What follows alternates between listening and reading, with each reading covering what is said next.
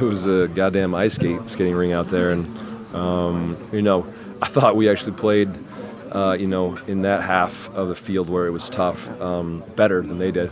Um, you know, they, you know, you could see they were lunging in the tackles. Um, they were, uh, they weren't playing, you know, defensively very smart uh, through, you know, the stage of the game when they were in that half, and I really think, you know, if we could have capitalized on that, we could have come out ahead. We really wanted to uh, to get in here, you know, 0-0 or ahead at halftime and give ourselves a chance, and you know we did that.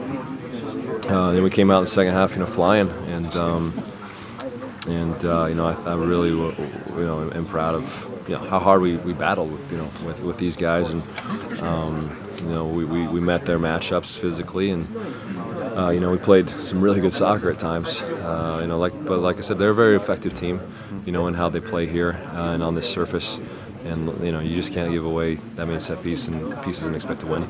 They end up getting more numbers, uh, you know, in the, our half of the field in the attack, and um, you know we're going to you know invariably give away some set pieces, you know, based on the pressure they put you know put on us. So um, definitely.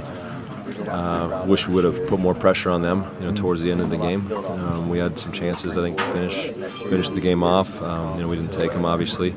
Um, so yeah, it's tough. I, I, didn't feel a lot of anxiety. Uh, you know, I, I, felt, you know, I believed that we could win. Uh, you know, I believe that, uh, you know, we were gonna get back into it after we missed, you know, our first two uh, penalties, and um, we did. I think that's just really a tribute, uh, you know, to, to the, the, will of this team and, and how strong it is.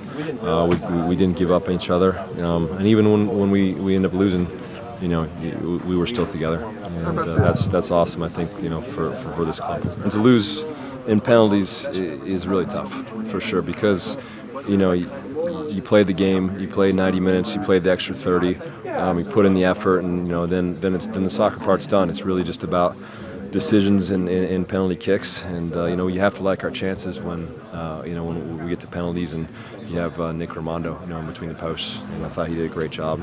Uh, you know, we just we should have you know kept up our end of the bargain, you know, and, and put a couple more away.